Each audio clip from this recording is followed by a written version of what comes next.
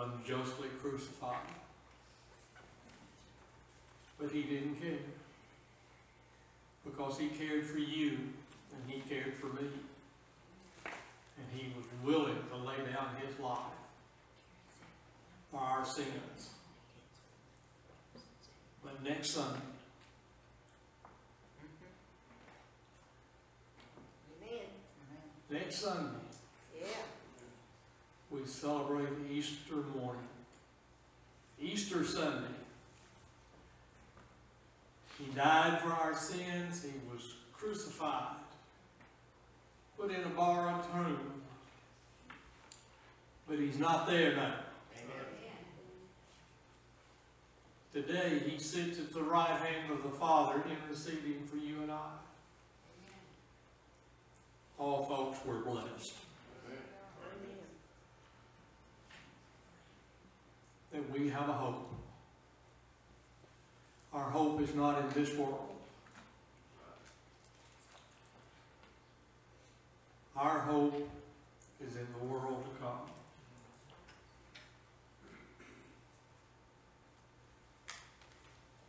I may get blessed and preach up here. But that wasn't what I came up here for, was it? Small group meets tomorrow evening at six thirty. Choir practice Wednesday evening at six o'clock. Wednesday at seven. Bible study, we're studying the holy angels. Choir practice nine thirty Saturday morning. No We're not gonna have choir practice nine thirty on Saturday. You're not having it. No, we've canceled it. Okay. Cancel that practice. Sleep in later mm-hmm. Thank you. if you so choose. Men's prayer breakfast, April the twenty-second at eight o'clock. George? George, why don't we just move men's prayer breakfast next Saturday?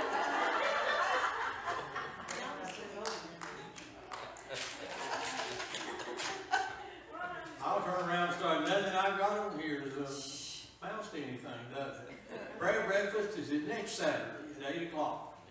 The No 22nd. prayer, no choir practice next Saturday. Is that right? Yes, sir. You got it. Why did you do this stuff that was wrong? That was a test and you failed. That's not unusual. Nothing unusual about that. Oh, goodness. Young man sitting out there before you turned seventy years old today. Amen. Bless your heart. Join that club, brother. And if you have not voted, he's out there waiting on you. This is it. So if you haven't voted, you need to do so. Two weeks from today, we're going to honor Pastor in faith in the morning service because they will have become, as of Tuesday this week, the longest serving pastors in the history of Rose Hill Church of the Nazarene. Amen. And we're going to honor them on that day.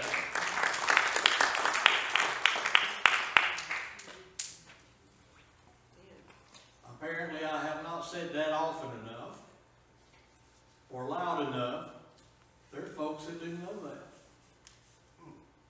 But be that as it may, you know it now.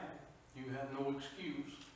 Now then, having said that, if you want to put your hands over your ears now, that's fine. We are going to honor them with a gift tree. If you would like to fix a card, if you would like to put something in that card, if you will give it to Terry Smothers, she will take care of putting that together.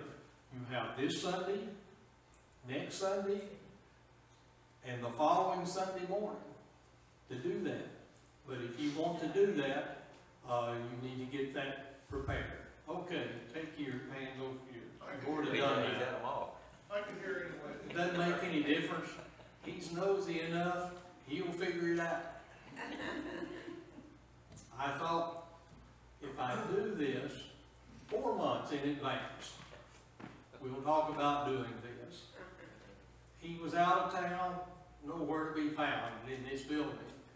He comes home, gets online, listens to the service, learns everything I've said about him. I wish I'd have said more. But I'll get in trouble if I do that. Think it's time for me to get out of here. Let's go to the Lord in prayer this morning. Heavenly Father, as we bow in your presence, Lord, we're so thankful this morning for your blessings upon our lives. We're thankful this morning, Lord, for your wonderful plan of salvation.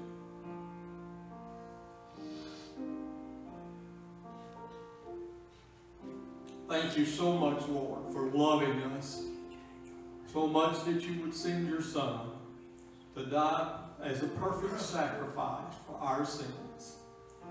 Lord, we just pray this morning that as we gather in your name, you might send your Spirit amongst us. Touch each heart and each life that is present. Bless us this morning as we worship and praise the holy name of Jesus. For it's his name we pray. Amen. Gary. Would you stand with me again? I'm doing a bit different today. I didn't do, I didn't do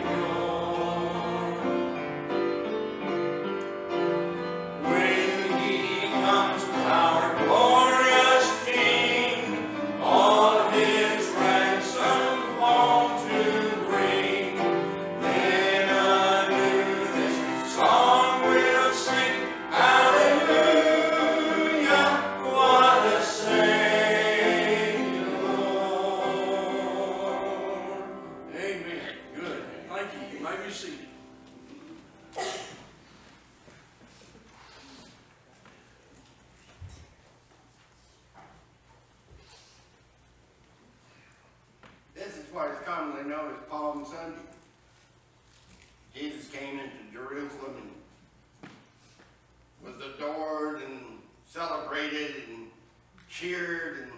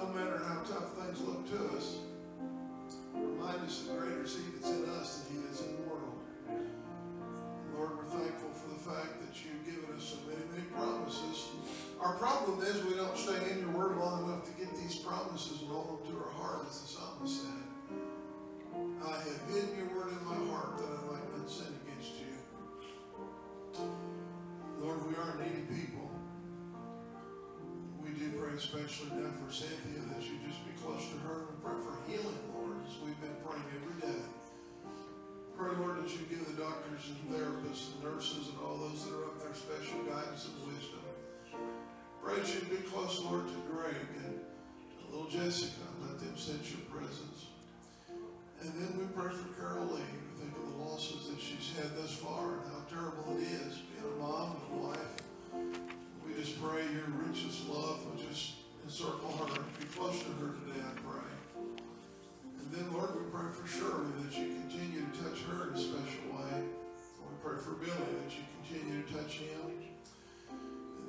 George and Bonnie's great grandson, Harrison Moore, that's had so many problems. He was born premature and had some of a blood bleed, but it seems like hopefully it stopped.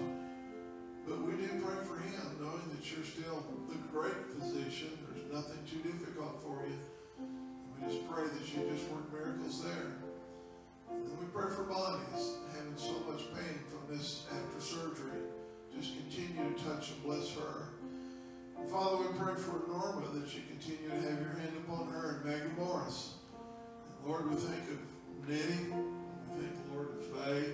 We think of these precious ladies that are here every Sunday that they can possibly be here. We pray your richest blessings to be upon them. Touch them in a special way. And then, Father, I pray for Ken having back issues, and Sandy's having her back issues. Pray for Bill Lockhart having some issues there. We pray, Lord, for Caroline's son Robbie that's just having a lot of difficulties right now. We just lift him up and pray that you'd work some miracles and do what needs to be done for him today. Pray for Kathy, who's home with a migraine today. We pray for Sam and Sharon's kids and grandkids that just need a very special touch. And Lord, undoubtedly there's others that I'm not aware of, but how thankful we are to know that you know everything before the problems even in our minds. And so collectively we lift everything up to you and pray that you work some miracles in our lives. We pray for our country. We know, Lord, we see how our country has decayed so much. We just pray, Father, somehow that you'd bless it. Pray that you'd help. We, we call ourselves Christians to live the life, to walk the life, and to lift up Jesus. We do thank you, Lord, for this great country that we have the privilege to live in. We're thankful, Lord, that you've ordained that it would be the great nation that it's been. I pray, Lord, that you would just continue to bless our country. Pray that you bless our leaders from our president, our vice president, our Congress, our state, county, and city leaders. And then, Lord, we pray for the Church of the Nazarene, our six general superintendents, including Brother David Busic, who's our general in charge. Bless him and his family. And then, Lord, we pray for Brother Russ and Gail as they lead our district. Just be so close to them. Undertake for them in a special way. And Lord, there's other needs that uh, I'm sure I've forgotten, but again, we know that you have it, and we just pray in a special way for these needs, Lord. Just work all these things out. And Father, as we pray Sunday now, we pray for these that are at your altar. You know what's going on in their lives. We just pray in a special way that you work all that out too. Just be close to each one, let them know that you care and that the answer's on the way.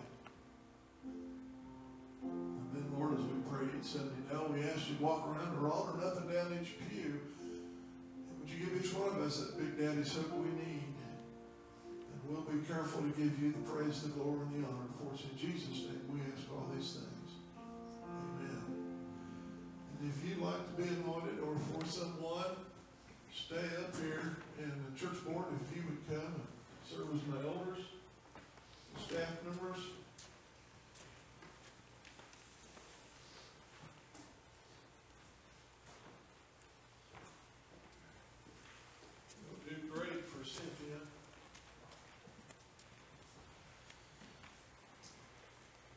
Father, today we come before you for Cynthia's sake. Lord, this poor girl has been up and down, up and down, said so many problems. But Lord, we know that she's your child. We know that she still loves you. And we just pray in a special way right now that you would just touch her from the top of her head to the tip of her toes. And we pray for healing to just go through her body right now in a special way. You said if there's any among you that is sick, call the elders of the church and anoint with oil, and the prayer of faith will heal. Well, we're calling today and asking a very special blessing. Pray that you just touch her right now. and Let the healing begin. We ask these things in the precious name of God the Father, the Son, and the Holy Spirit. Faith, would you say a prayer for Cynthia? Lord, we lift Cynthia up to you and we pray for healing, Lord, that only you can give. You are the one, you are the healer, you are the one that can take care of her and, and wash us all away, Lord. We just ask you to be with her right there in the hospital room. And just take care of her, Lord, and give her the strength that she needs. And give Greg the strength that he needs too, Lord. And little Jessica, we think of her and all she's feeling and thinking and going on in her little life, Lord. Just be with this family. And we praise you and we love you in thy precious holy name. Amen. Let's pray for Shirley next. She's right here. Lord, build in her place. Father, Shirley to you. She'd been sick for so long.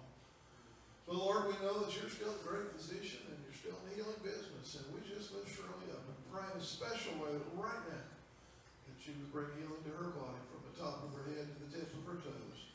And again, you said that if there's any among you that are sick, let them call the elders and anoint with oil. Prayer of faith will bring healing. Bill, we anoint you in the name of the Father, the Son, and the Holy Spirit in your wife's place. Call in for your healing for her right now. Sam, would you say a prayer for Shirley? Father, we just ask, Lord, that your blessing upon Shirley today, Father, if you would touch her body in such a special way. Father. And we pray for Billy, my brother and my friend in Christ, that you would touch him today as he ministers to his wife and be with her, Father. We know, Father, your ways are not our ways. You know all things. You know all things work out for the good for those who love the Lord. We ask you to bless her today. Amen.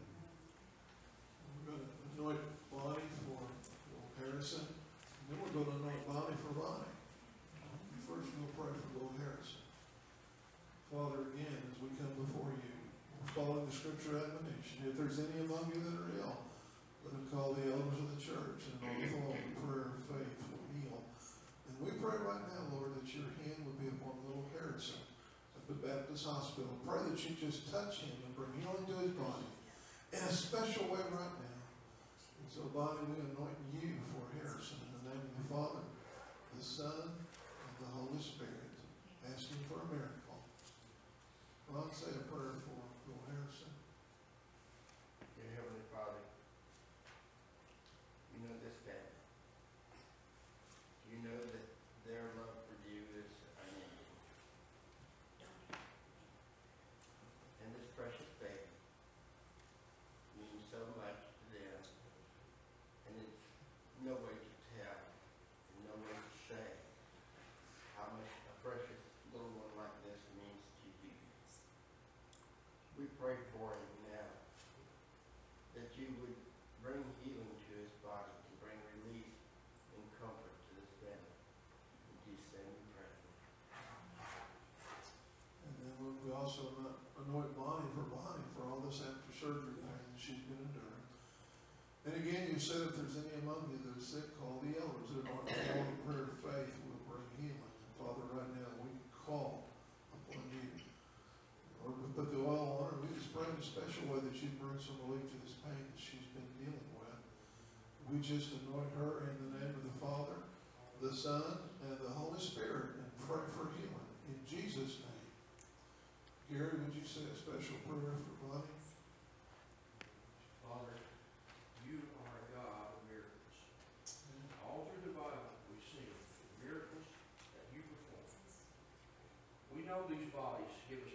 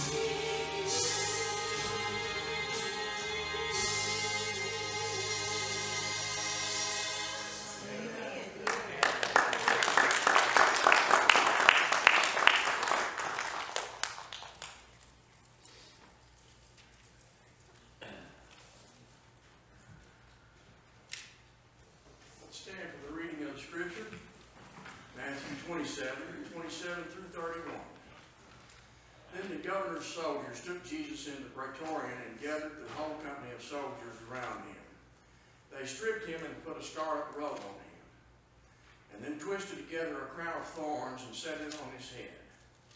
They put a staff in his right hand. Then they knelt in front of him and mocked him. Hail, King of the Jews, they said. They spit on him and took the staff and struck him on the head again and again. After they had mocked him, they took off the robe and put his own clothes on him.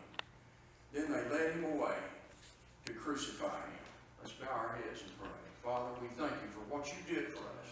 And we can't, we will never understand the full impact of what you did, of the sacrifice you gave. And Father, it was far more than physical, although the physical was a big part of it. You were the God man. You were part God and part human. And you suffered in ways we can never imagine. But we thank you that you gave us a way out of hell. We love you for this today, Father. Now help us to be attentive to what the pastor has to say to us today, Father, that we may better serve you. In Jesus' name I pray. Amen.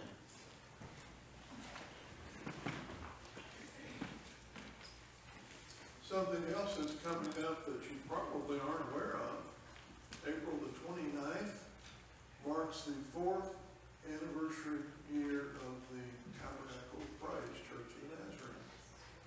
Pastor This is four years. Doesn't seem like it could be that long, does it? And they have been wonderful partners with us. A lot of times I've said something to them about, well, we need to do such and such, and they look at me and they say, Pastor, it's our church too. If there's something that needs to be done, we need to know about it, because we want to be there. And some of the churches that had Hispanic churches didn't have that kind of cooperation at all like we've had, so that's their fourth anniversary. D.L. Moody was probably in the late eighteen hundreds, one of the most famous evangelists in the world. And people from all over the world would come to his Bible conferences that he held in Northfield, Massachusetts.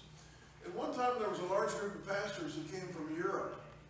And they set them up in the dormitory in uh, one, of, one of the buildings in the school.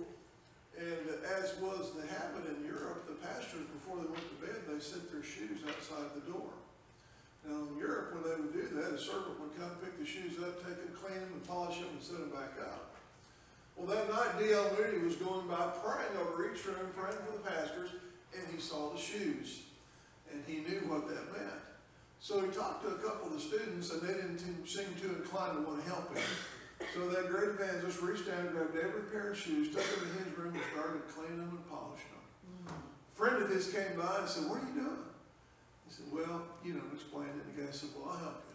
So the two of them finished the shoes, and this is the guy that told the story, the one who witnessed it. Moody never said a word about it.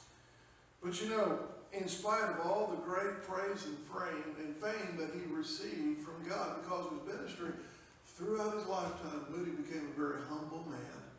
And you know, folks, Jesus Christ, the Son of God, the King of Kings and Lord of Lords, had every right to receive worship and honor and praise.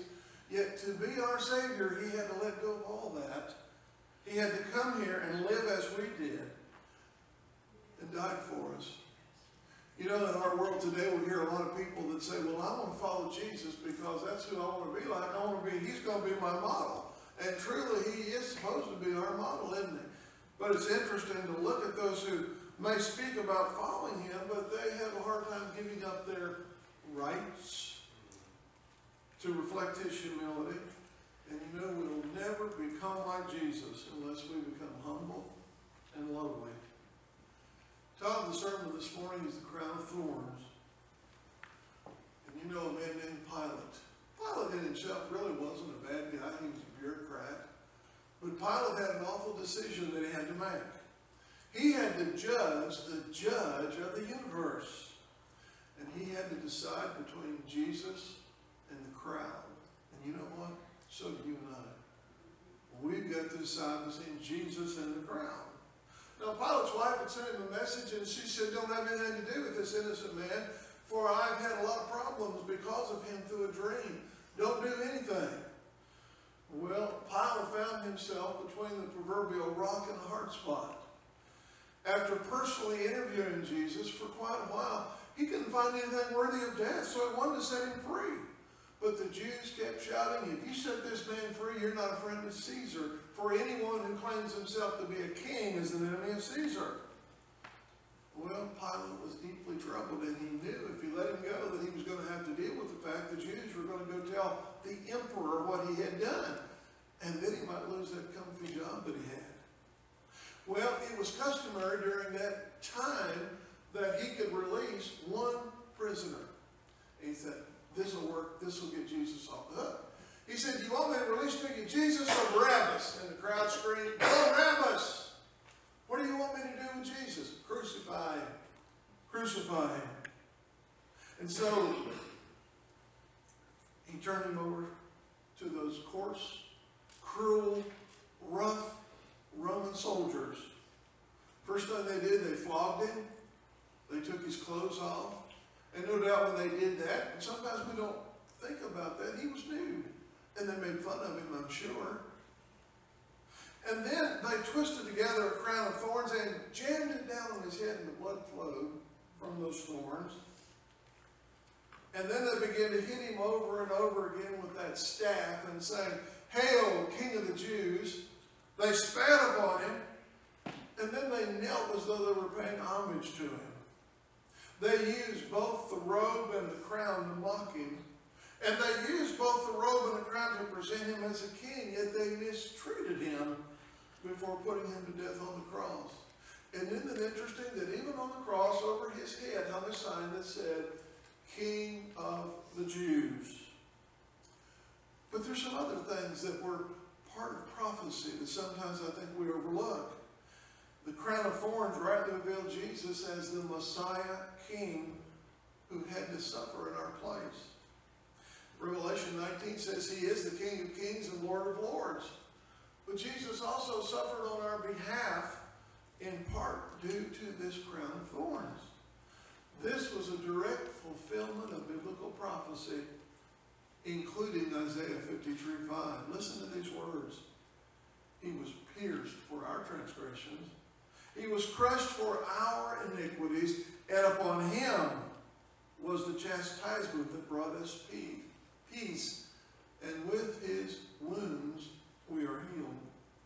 You know, part of the curse in Genesis chapter 3 was that the ground would produce thorns and thistles. Now, Hebrews 6, 7, and 8 also reveals to us that back in the ancient culture, thorns and thistles were a curse. Hebrews says this, For land that has drunk the rain that often falls on it and produces a crop that's useful to those for whose sake it was planted, receive a blessing from God. But if it bears thorns and thistles, it's worthless and worth nothing more than to be burnt to the ground.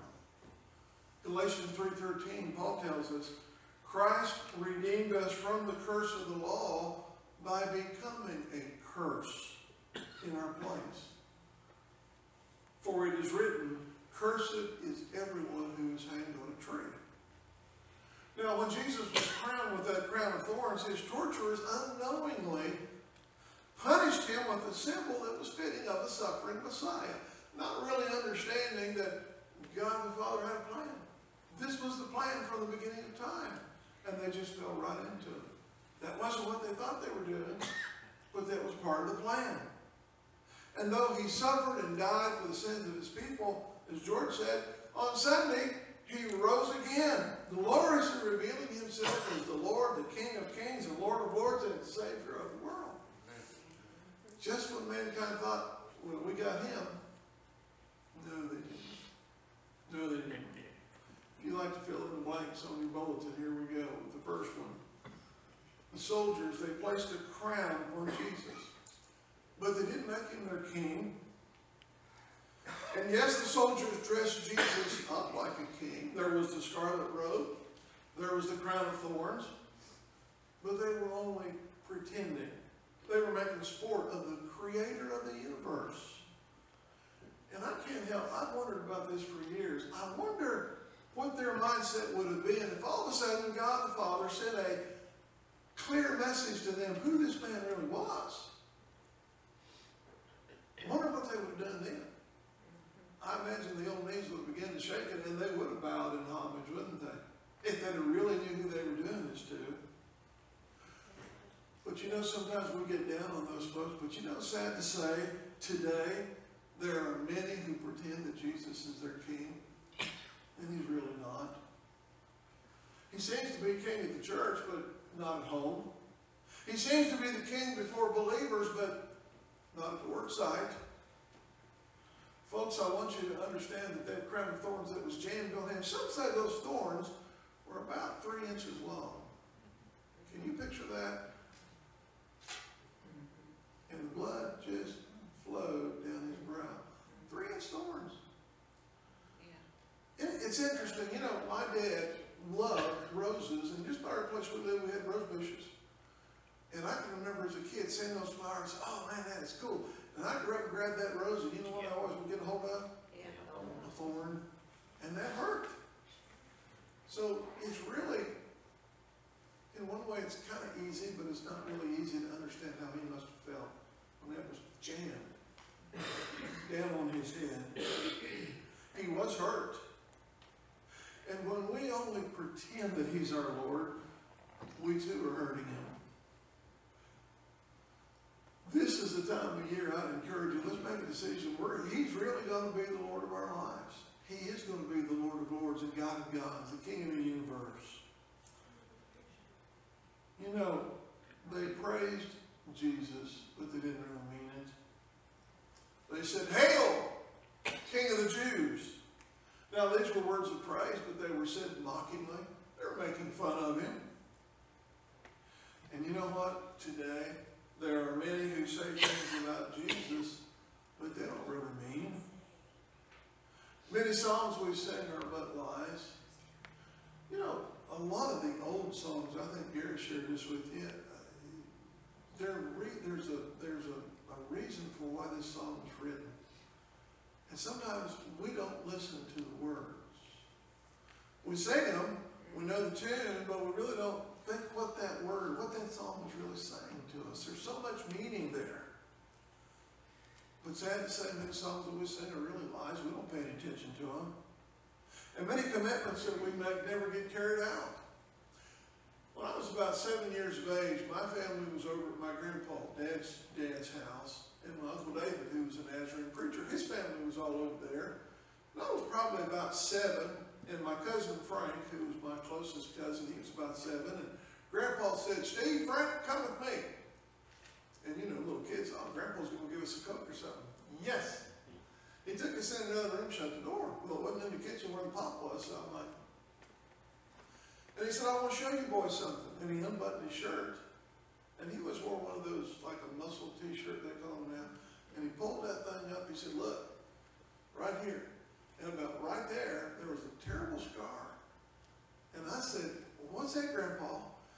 He said, I got shot about 30, 25, 30 years ago by a 32 pistol right there. And I said, well, what happened? He said, well, we lived in Columbus, Ohio, and they had cat burglars. Now, that's an old term. Of you remember that? A cat burglar? Well, they couldn't catch him. He was just robbing people like crazy. And uh, so Grandma said, Grandpa, go out down the cellar. Now, we don't have cellars too much anymore unless you're in the country. Back in those days, you'd go out in your backyard, and there was a door. You lift that door up out of the ground, and you walk down five steps, and there was a cellar. And Grandma would can all kinds of stuff, you know, that's where she kept it. Well, he opened that door to go down there, and his neighbor, it's dark, and thought, uh-huh, there's the burglar. Boom! Grandpa almost died. He was in the hospital. Remember this probably back in the late 30s, maybe early 40s. And uh, they were afraid to do anything because it was too close to his heart. And so they said, well, we're not going to do anything because we're afraid you might die. And so if you will let me be okay from this, I'll become a Christian. I'll serve you. I'll be in church and I'll do all the things that I need to do. It happened. God tested him. He still had that bullet in his chest when he died in 1995 as a kid, Grandpa and Grandma were in church with us, and I thought that was really cool. But then they stopped coming. And, you know, nobody ever said anything about it. So I asked my dad, I said, well, where's Grandpa? Why didn't he come to church? Dad really didn't want to answer. But I found out as I got older, Grandpa turned his back on Jesus. He said, I don't want to do that kind of stuff. I'm not going to go to church. Now, Grandpa didn't drink alcohol. He didn't smoke. He chewed tobacco up. Nasty. He'd have a spit tune over there against the corner of the wall and have a piece of newspaper under it, and he'd be talking to you, and all of a sudden, hit real long fingernails, he'd go, Oh. and throw it. Yeah, Nasty. yeah. And uh, most of the time, he missed and hit the wall, so you can imagine Oh, how that looked. goodness. And uh, every once in a while, he might say a four-letter word, but as a rule, he didn't swear that much. But he didn't want anything to do with church. He didn't want to do anything with God. Grandma died in 1969. She came down with cancer and really went through a bad, bad time. Still, he didn't want anything to do with Christ or the church.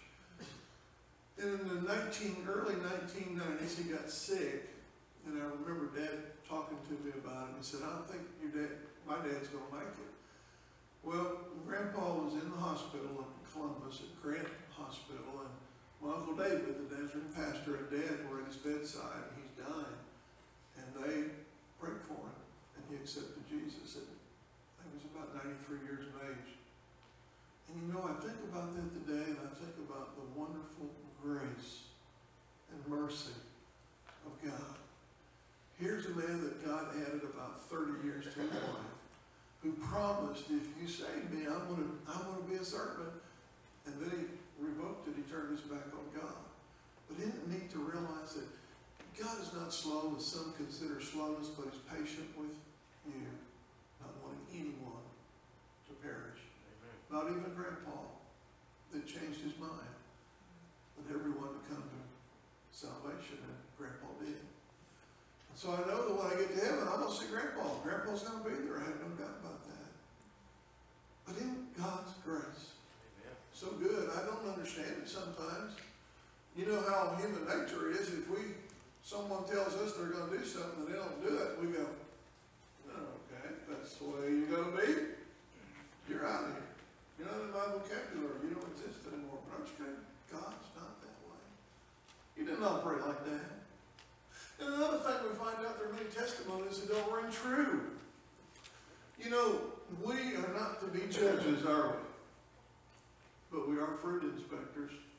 Jesus said in Matthew 7 16, You will know them by their fruits. You'll know them by their fruits. Football, college football coach uh, Jimmy Johnson said something I've never forgotten. He said, You know, it's one thing to talk the walk, it's another thing to walk the walk. How important that is. And you know what? Jesus deserves our total dedication. Romans 12, says, I beseech you therefore, brethren, by the mercies of God, that you make your body a living sacrifice, wholly acceptable unto him, which is your reasonable service. And you know what I've come to find out? He is either Lord of all, or he's not Lord at all. Does that make sense? Yeah.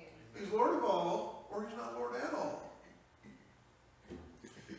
Susanna Wesley told her young boys, and especially John, here's what she said John, anything that comes between you and God is a sin. Don't let anything come between you and God. And then, as these soldiers knelt as if to worship Jesus, it was nothing more than form and mockery. And you know, I can't help but think how, how deeply his heart must have been grieved at these, because this was part of creation, the people that he had created to worship and respect him, but yet they treated him as though he were the lowest of lowest. And in bowing to him, they were just going through a bunch of empty motions. They hit him with a stick, they spat on him, they wounded him, and now they pretended to worship him. I think if I'd have been there, I'd said, seriously? Really? But you know what? Sad to say, that's exactly the way it is today. It's exactly the way it is today. We hear people say, well, I'm a Christian, I might go to church to be a Christian. I'm a Christian, it's okay to smoke. Well, I'm a Christian, it's okay to cuss. I'm a Christian, it's okay to drink alcohol. After all, Jesus changed water into wine at the wedding, didn't he? What's wrong with alcohol? You know what? I have never found a single verse in the Bible that commands us that says you cannot take a drink. But the Bible very clearly warns us about the dangers of too much alcohol. It warns us about the destructive nature of alcohol. And the Bible is also clear that mature Christians should avoid causing others to stumble by drinking. And that leaders in the church ought to avoid drinking, period. And they cannot be given over to drunkenness. And I've yet to hear anyone who drinks say how alcohol enhances anything or blesses anyone. Max Lucado said this. He said, One thing for sure, I've never heard anyone say, a beer makes me feel more like Christ. The fact of the matter is this people don't associate beer with Christian behavior, do they? And I've yet to see how it improves somebody's testimony or how it makes anyone more effective for Christ by being a drinker of alcohol. Here was a headline in the Tulsa paper, January 24, 2012, you probably, you probably remember it. Richard Roberts, son of the late Oral Roberts and chairman and CEO of the Oral Roberts Evangelistic Association, was arrested early Tuesday morning in Tulsa for driving under the influence and speeding. Roberts was driving a 2006 Mercedes east of the Creek Turnpike when a trooper pulled him over for speeding. Let me tell you something, his testimony certainly wasn't enhanced after that hit the newspapers and the news. But it did take away from his testimony. And let me tell you something, whenever anything like that happens specifically to a preacher, every preacher in the country gets a black eye. Every preacher does. It doesn't make any difference what denomination you're in. When Jimmy Swaggart messed up, my boss in Colorado Springs, when I was working through Bible college, he said, Well, Steve, what do you think about your preacher, your preacher, Jimmy Swaggart? Wasn't my preacher. But what do you think about your preacher, Jimmy Swaggart? And I said, Well, I guess that just shows to tell you that the devil's after everybody. And if you're closer to God in a relationship, like as a preacher, he's really got the big guns after you. And my boss just looked at me and he said, he wasn't a Christian. He said, well, he said, I'm not a Christian and I don't do the things he does. I guess I'm more a Christian than he was.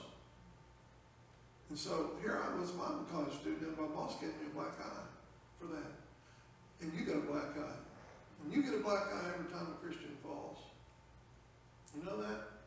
It's not just preachers, but we all do. And that's the problem that's going on in the church today. We wonder why in the world we're not drawing people into the church. Well, there's too many theatrics and not enough theology going around in our church today. Do you remember when WWJD became popularized? What would Jesus do? Yeah. It happened back in the 1990s, and it was a slogan that was used by some new Christians, probably we would call maybe the hippie part of the church. And they began to apply that to their lives. And the idea was, anytime I'm going to make a decision, before I do it, I want to think, what would Jesus do? And you know, that's a good mindset. That's a good mindset to have even today, isn't? Before we make a decision, what would Jesus do? Think it through.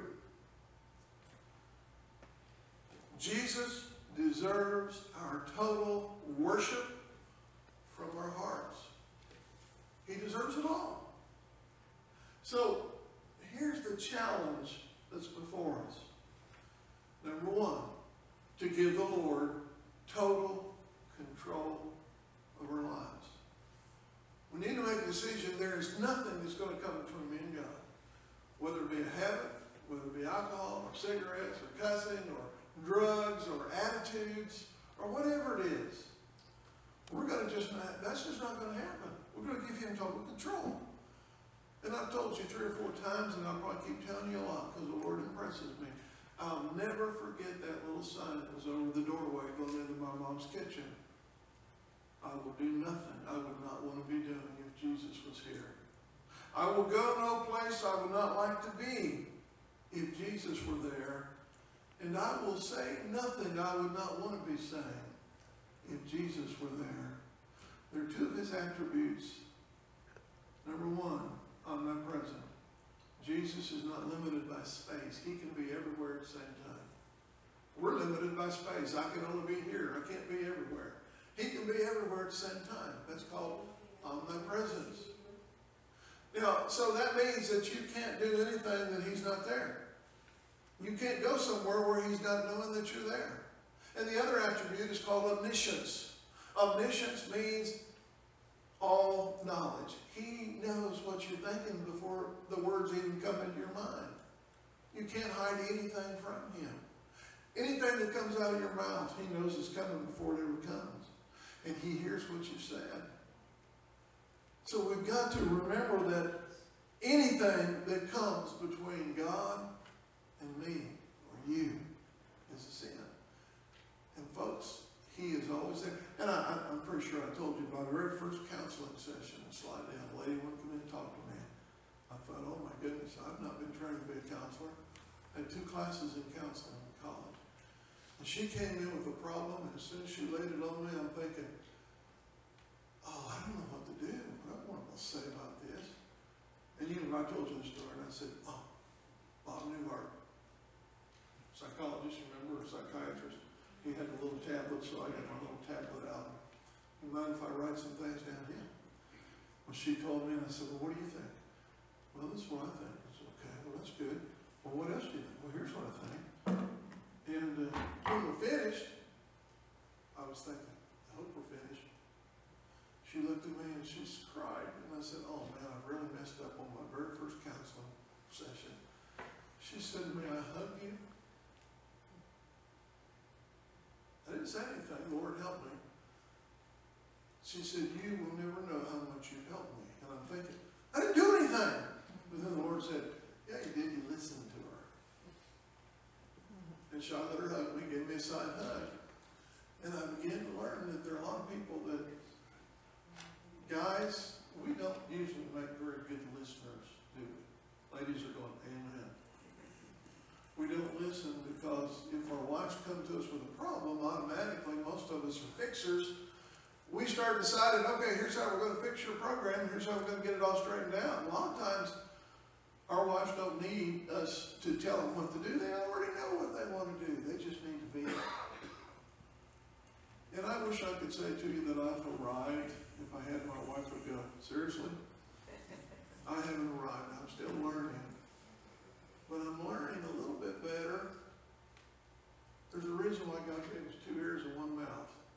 You know? If we listen twice as much as we speak, things would be a lot better for us. But we need to praise the Lord from the depths of our heart, worship the Lord in spirit and in truth, and let the world know that He really is our Savior and our King. George was preaching to us up here about Friday. When Friday, right before Christ gave up His Spirit on the cross, He said these three words, and we won't say it in the Greek, but here's what He said in English. It is finished. And what that meant was not that he was dying, he had completed the work that his father had said to do. And you know, that must have had a good sense of feeling. I've done what I was supposed to do. And then he gave up the ghost, the King James says. Now, I've often thought, you know, we call it Good Friday. Well, it's good for us, but, you know, I'm looking at Christ, the Christ man, the God man, must not have been too good for him, all the things that happened to him on that day. But then Sunday came. He was resurrected gloriously. And then he went to be with his father. Everything was done, so things were going to be real good on planet Earth, right? But you know, even in the church, we look around and we see people carrying a chip on their shoulder. We see attitudes. We, we hear gossip. We hear people getting angry. In the church, I'm talking about, you expect it in the world.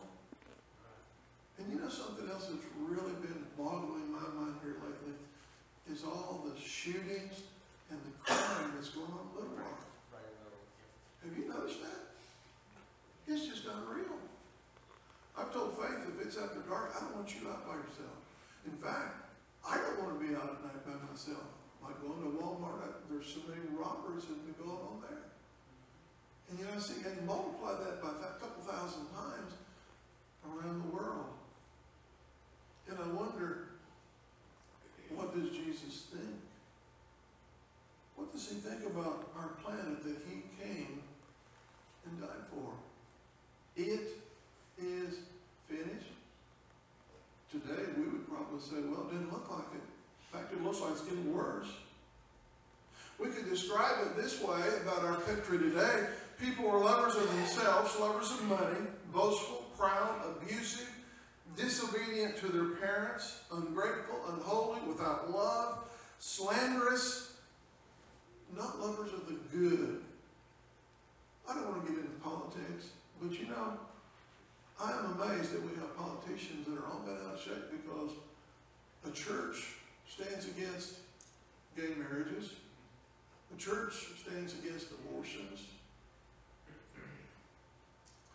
You know, our schools are prohibited from teaching anything about Christianity.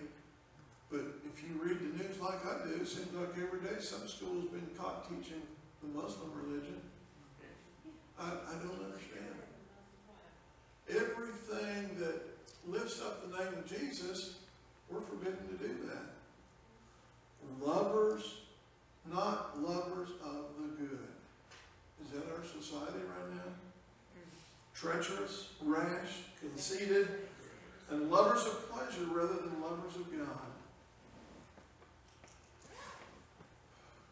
You know, your church board a couple years ago, probably three or four years ago, maybe longer, we, we added a, a bylaw that, uh, to protect us from gay marriages. So that we would not have to do gay marriages legally. It's in our, it's in our bylaws. And General Church of the Nazarene finally came out and put something, almost the same thing in the manual, to protect us. We've heard the stories about uh, people who sold cakes or who had flower shops who refused to do a gay wedding and lost their businesses. And we wonder what's wrong with America today. It's sad. And I wonder, sometimes I wonder, it seems like Christianity is a minority. And you know what? We're supposed to be. The Bible tells us that God always has a remnant. A remnant. A remnant is a minority. And you know, God doesn't need a majority to do his work. He just needs us to do his work. Why? Because Christ died for us. And he's given us the power. Acts 1 8. Receive that power to be his witnesses in Jerusalem, Judea, Samaria, and to the uttermost parts of the earth. If we just make a decision that we're going to totally surrender to God and let him be God of our lives. And the old saying is, if it is to be, it's up to me. Well, aren't you glad that Friday came, but more importantly, Sunday came? We have an empty tomb for our Lord. There's no bones in our Lord's tomb, it's empty. Amen. Isn't that great? Louis, Louis, come up here and, re- and let us know the results of our election.